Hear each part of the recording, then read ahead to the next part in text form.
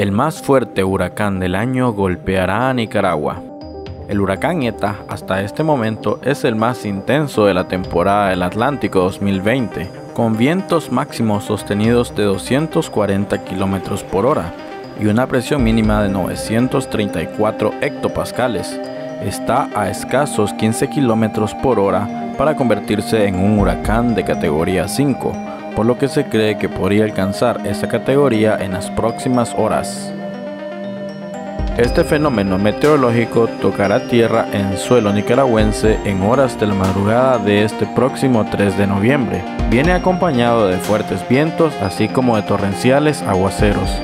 El equipo de zona libre le insta a que se dote de lámparas, baterías y alimento para varios días, ya que los fuertes aguaceros podrían comprometer las redes eléctricas y la capacidad de movilización.